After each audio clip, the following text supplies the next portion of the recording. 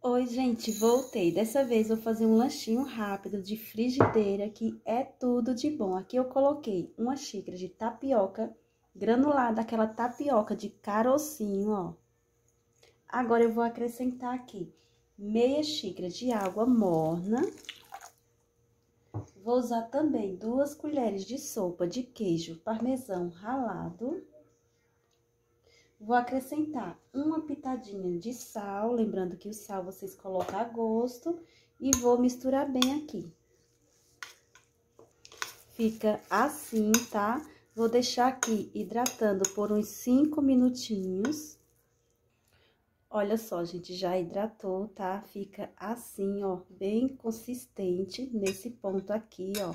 Agora, eu vou pegar e vou fazer o meu lanchinho. Vocês podem fazer no formato que vocês preferirem.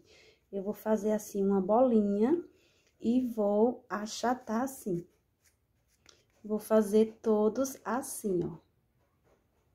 Untei a frigideira com um pouco de manteiga e vou colocar aqui os meus lanchinhos. Lembrando que tem que deixar o fogo baixinho e vou abafar.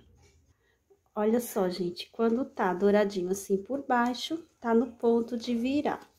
Vou fazer todos e já volto com todos prontinhos. Já ficaram prontinhos, olha só, gente, que delícia. Hum, gente, fica delicioso, saboroso, tudo de bom. Pode fazer que vocês vão amar.